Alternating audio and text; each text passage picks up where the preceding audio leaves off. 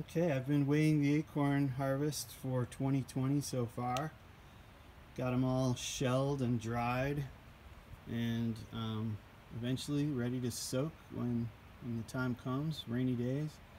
So these are stable now and they're all dry and they've had their shells removed after the drying process.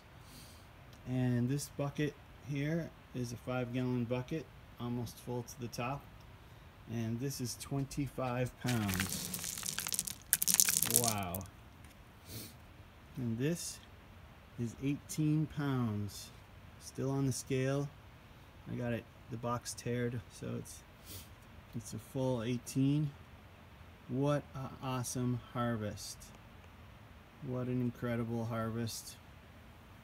43 pounds so far.